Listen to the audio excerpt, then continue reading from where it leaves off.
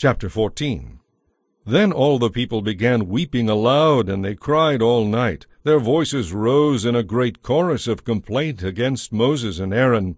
We wish we had died in Egypt, or even here in the wilderness. They wailed, Why is the Lord taking us to this country only to have us die in battle? Our wives and little ones will be carried off as slaves. Let's get out of here and return to Egypt. Then they plotted among themselves. Let's choose a leader and go back to Egypt. Then Moses and Aaron fell face down on the ground before the people of Israel. Two of the men who had explored the land, Joshua son of Nun and Caleb son of Jephunneh, tore their clothing. They said to the community of Israel, The land we explored is a wonderful land, and if the Lord is pleased with us, he will bring us safely into that land and give it to us.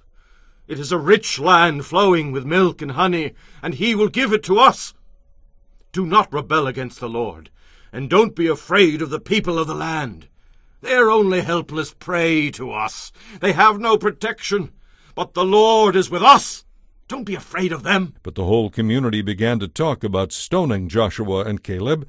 Then the glorious presence of the Lord appeared to all the Israelites from above the tabernacle. And the Lord said to Moses, How long will these people reject me? Will they never believe me, even after all the miraculous signs I have done among them?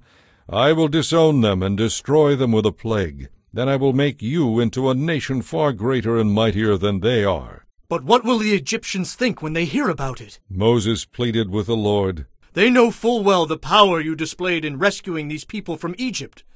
They will tell this to the inhabitants of this land, who are well aware that you are with this people. They know, Lord, that you have appeared in full view of your people in the pillar of cloud that hovers over them. They know that you go before them in the pillar of cloud by day, and the pillar of fire by night. Now if you slaughter all these people, the nations that have heard of your fame will say, The Lord was not able to bring them into the land he swore to give them, so he killed them in the wilderness. Please, Lord, prove that your power is as great as you have claimed it to be. For you said, The Lord is slow to anger and rich in unfailing love, forgiving every kind of sin and rebellion. Even so he does not leave sin unpunished, but he punishes the children for the sins of their parents to the third and fourth generations. Please pardon the sins of this people because of your magnificent, unfailing love, just as you have forgiven them ever since they left Egypt. Then the Lord said, I will pardon them as you have requested. But as surely as I live, and as surely as the earth is filled with the Lord's glory, not one of these people will ever enter that land. They have seen my glorious presence and the miraculous signs I performed both in Egypt and in the wilderness, but again and again they tested me by refusing to listen. They will never even see the land I swore to give their ancestors. None of those who have treated me with contempt will enter it. But my servant Caleb is different from the others. He has remained loyal to me, and I will bring him into the land he explored. His descendants will receive their full share of that land. Now turn around and don't go on toward the land where the Amalekites and Canaanites live. Tomorrow you must set out for the wilderness in the direction of the Red Sea. Then the Lord said to Moses and Aaron, How long will this wicked nation complain about me? I have heard everything the Israelites have been saying. Now tell them this. As surely as I live, I will do to you the very things I heard you say. I, the Lord, have spoken.